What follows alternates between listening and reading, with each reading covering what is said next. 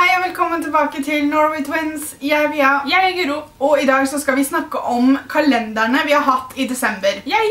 Det her blir en slags review og en litt sånn kjapp gjennomgang av kalenderne vi har hatt. Hvis dere vil se hva vi fikk i kalenderne våre, så har vi lagt ut bilder på Instagram hver eneste dag. Linken til konten vår er under her, men det er bare Norway Twins blogg.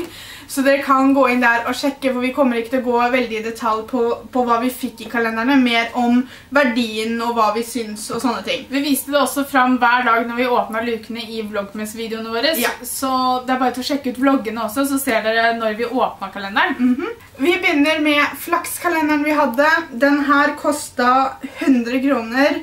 Jeg vil si det at selvfølgelig det er ikke garantert at du vinner. Vi har vært heldige og tror jeg har vunnet 200 kroner til sammen. Mm. Så da si 100 kroner da, siden kalenderen kostet 100 kroner. Ja. Men jeg synes en sånn kalender som det her er veldig spennende. Mm. Selv, om du, selv om jeg ikke hadde vunnet, så hadde jeg gjerne kjøpt den her neste år, og det tror jeg vi skal gjøre. Jeg tror Ja. vi skal kjøpe For sånn her. For det blir en litt sånn spenning på en litt annen måte, og så måtte du liksom samle disse merkene, og... Nei, absolutt verdt det, synes jeg. Litt spenning i hverdagen er da bra. Det her er den jeg hadde. Det her er en sånn billig greie som jeg kjøpte i Sverige til 10 kroner. Sjokoladen er ikke den beste, men da blir du heller ikke fristet til å åpne alle på en gang. Så jeg fikk meg en liten sjokoladebit hver dag og var egentlig veldig fornøyd med det, og kommer nok helt sikkert til å ha sånn her neste år også. Det kan nok hende at jeg kanskje, det høres veldig rart ut, men investerer litt mer i sjokoladekalenderen min neste år, og så kjøper en som eksempel den Kinder-sjokoladekalenderen. Veldig lyst på den. Den kan vi kjøpe. Men den koster jo sånn oppimot 200 kroner, og er det verdt det for å kjøpe det bare for å få en liten sjokoladebit hver dag? Hvem vet? Eh, Men i hvert fall en form for sjokoladekalender, om det blir den her eller en annen, det vet jeg ikke, men det blir helt klart en sjokoladekalender. Jeg hadde denne sjokoladekalenderen. Det er sjokoladekalenderen til Saucony Jolies. De er eh, youtubere fra eh, Irland, men de bor i England. Nå ser det jo veldig rart ut siden alle lukene er åpne, men jeg synes det var utrolig kult. Ok. Sjokoladen i den kalenderen her var bedre enn de billige kalenderne. Såpass vil jeg si. Jeg gikk veldig lei, så de siste dagene spiste jeg ikke sjokoladen. Jeg bare åpnet luka og bare orka den siste uka. Ja, orka jeg ikke, men det var litt fordi at jeg ba... Nei, jeg ble lei, rett og slett. En løsning for meg og Guro kan være at neste år at vi gjør som vi gjorde med resten av kalenderen, at vi åpner annenhver dag hver, så får du kanskje ikke en sjokoladebit hver dag, men da blir du heller ikke lei. Eller så har Guro en egen, og så kan Pia åpne annenhver dag på sin... Eller det.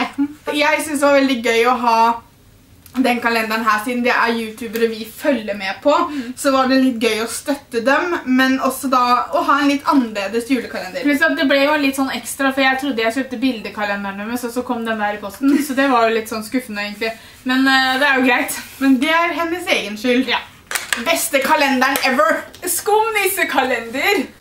Altså, den her kom vi over bare ved tilfeldighet på Joker, og den ble jo den beste. Og den kjøpte vi 6. desember eller noe, så vi hadde noen dager vi måtte hente igjen. Ja. Det jeg vil si er at jeg synes det er litt synd, for det var noen brune nisser oppi her, som Ja, det det sånn står... colanisse eller noe sånt. Nei da, det er risengrynsgrøt og kanel. Det er jo ikke noe rart jeg ikke likte den! Altså, eh, kjære Cloetta, lag sånne med bare rosa nisser. Ja, takk. Eh, de er de beste, og, men det var ikke mange av de brune vi fikk. Vi fikk Nei, jeg, fire. jeg fikk alle. Ja. Uh, nei, jeg, tror, jeg fikk Ja, en. nei, du fikk en. Um, men en helt suveren julekalender som vi helt klart kommer til å kjøpe neste år også. Og jeg håper de kommer ut med neste år også. De to siste er to beauty-kalendere, selvfølgelig, man må jo bare, man må jo bare. I år så hadde vi to stykker som ikke vi hadde i fjor heller. Vi har en sånn kalender-review-ting eh, fra i fjor også, som vi kan linke under her hvis dere har lyst til å se hva slags kalendere vi hadde eh, i 2015. Den første vi hadde i år var den fra Kix. Den kostet 3,99. Skal vi se, jeg kan lokke den opp for å vise dere. Det var bare en sånn dobbeltkalender med luker i alle slags eh, former og størrelser. Når det gjelder eh, verdien av kalenderen mot verdien av tingene vi fikk i kalenderen, så vil jeg si at det er absolutt verdt det. Det var ikke bare Kicks-produkter. Vi fikk en liten S i neglelakk, vi fikk Depend, eh, Defend, Depend. Neglelakker. Vi fikk en liten prøve på en Isadora Foundation. Ja, Selv om det bare hadde vært Kicks-produkter, så Så syns jeg det hadde vært verdt det. For det var en såpass variasjon. Du fikk ikke to av Unntatt neglelakkene, Mm. så fikk man faktisk ikke to av et produkt en eneste gang. Nei. Og det var et lite problem vi hadde med denne kalenderen vi hadde i fjor. Var at vi fikk liksom sånn 15 hårkurer eller hva det var for noe. Men her så var det så variert. Det var bra størrelser på produktene. Og jeg er kjempefornøyd. Hvis Kix kommer ut med julekalender neste år også, så vil jeg absolutt ha den igjen. Og den siste er The Body Shop-kalenderen. Vi hadde den lille.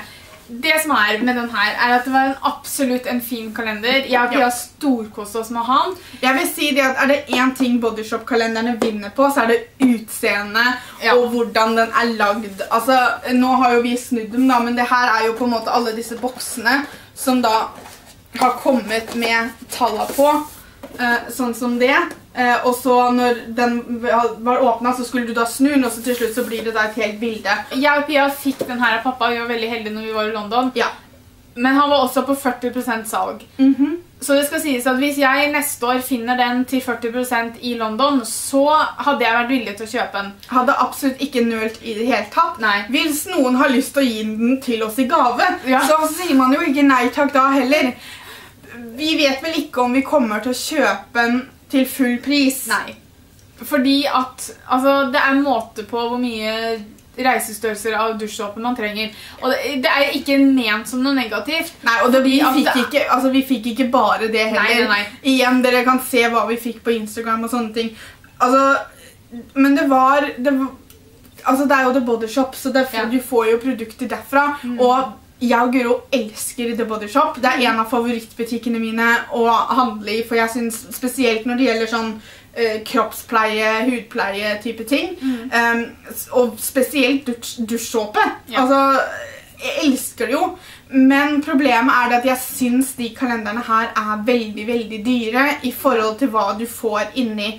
Og hvis man skal på en måte være pirket og regne på det, så kan det godt hende det at det er en større verdi på det som er inni kalenderen i forhold til hva du Det er betaler for. det er det helt sikkert, for Men de ikke Det er litt grann den der hva du Hvordan du veier det opp selv også. Mm. På den 24. så fikk vi en full størrelse av en body butter, og Ja. den, den koster vel nærmere 200 kroner, tror jeg. ja. Så det er ikke det at altså, Jeg sier ikke det at reisestørrelse med dusjsåpe er en negativ ting. Nei. Det er bare det at Og det var ikke det at jeg hadde forventa noe annet heller. Det er Nei. bare det at jeg syns det er dyrt. For når det er fullpris, så er det faktisk veldig dyrt. Og jeg hadde, hadde ikke følt at jeg kunne tatt meg råd til det så nærme jul. Når man skal kjøpe julegaver og man skal Mm. ordne og styre, så syns jeg da liksom at å betale så mye for en julekalender er veldig mye. Da går jeg heller for den Kixin som hadde masse forskjellig i akkurat samme størrelse som du fikk i bodyshopen sin. Og den kosta på en måte langt under det bodyshopen sin gjør. Men jeg likte det at vi fikk jo litt eh, sminke i Mm, veldig Bodyshop-kalenderen. positivt. Eh, jeg har prøvd li veldig lite av Bodyshop-sminka, mm. og vi fikk to sminkekoster blant annet. Så det er jo Det er absolutt vi, altså, Det vi mener er at Vi vil absolutt ikke snakke negativt om de pro produktene vi fikk i kalenderen, for det er kjempebra. Det er bare at prisen blir for høy. Men finn igjen på tilbud, så hadde jeg ikke nølt et sekund engang med å kjøpe den. Nei. Fordi at den var på en måte verdt pengene, men det er penger jeg ikke har. Er det en måte å si det på? Fortell oss gjerne hvilken julekalender du hadde i år, om du er fornøyd, ikke fornøyd. Er det noen julekalender du vet om som du bør anbefale oss å prøve neste år, så vil vi gjerne høre det, for vi elsker å ha julekalendere. Og det er en morsom ting å inkludere i vlogmas-videoene, Um, så vi føler liksom på en måte det at dere har hatt denne julekalenderen sammen med oss. Tusen takk for at dere så på. Trykk liker hvis dere likte den videoen. Abonner for å få med dere flere videoer, og så snakkes vi. Ha det!